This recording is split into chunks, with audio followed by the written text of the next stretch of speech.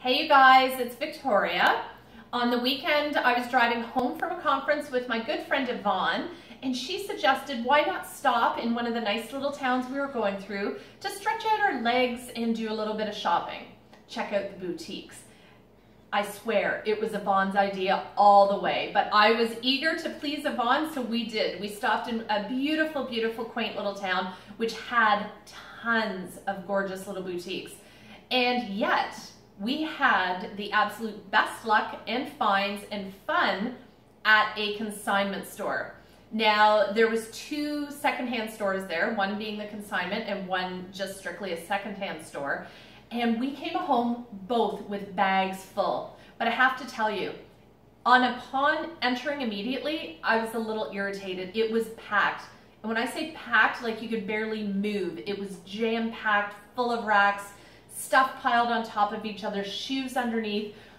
But because of all the other boutiques we'd already been in, I thought, you know what? There are going to be some good high-end quality items in here. We just have to take some time to look. And sure enough, there was.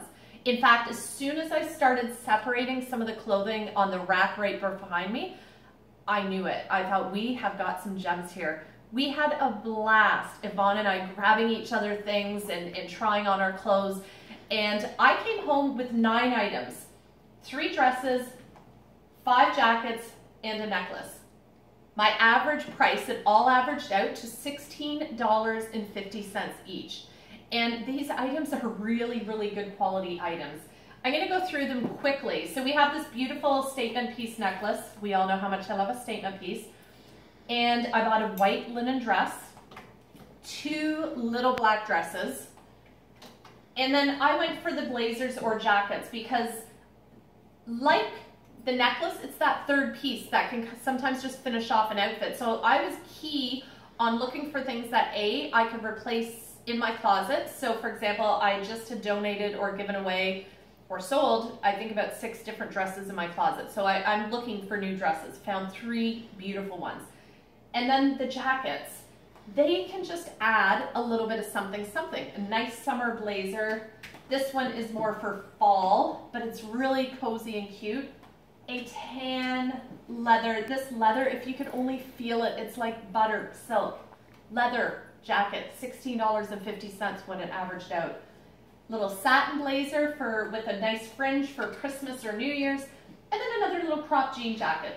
My jean jacket I currently own, I've had for probably 15 years. I still love it, but I was ready to update it. So I have a couple tips for you today because when we go sale shopping or secondhand shopping or consignment store shopping, it's so easy to get caught up in the low ticketed price.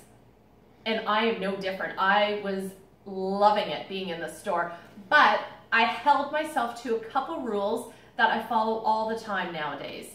And that being, I was looking for things that I knew would already coordinate with other items in my closet. So that would be my first tip for you. Think about what you have in your closet and what you can coordinate with that. What's lacking? Because again, when we're on a sale, we're just looking at what's on sale instead of thinking, okay, what can we really implement and expand our wardrobe with? And so that's what I was going for today. The second thing I want you to be conscious of is really taking a good look all over the, the item to see if there is any disrepair that may have got missed, to make sure that the uh, seams are all very well put together or the hem. And if they're not, that's okay too because when it's secondhand, that is a quick, easy fix. I don't recommend buying things that you're gonna lose 10 pounds to get rid of, to get into rather. Buy things that fit you well now, even if they're a really fun shape or good shape for your body, but could even go in a little bit. Things that you know your seamstress or tailor could easily bring in to fit you well, those are quick fixes. A zipper is kind of a quick fix as well, but you are gonna spend a little bit more money. All of the items I bought are in perfectly good shape. I think two of them still had their tags on them. So that is my quick two tips for you. Go out, have some fun, play dress up, but keep in mind what you already have in your closet so that you're not ending up with things that are just sitting there not being worn. You want to feel put together, you want to feel inspired every day getting dressed, and I want to help you get there. So if you have any more questions about my trip or about me, head on over to beautifulyoubyvictoria.com. Thanks for watching.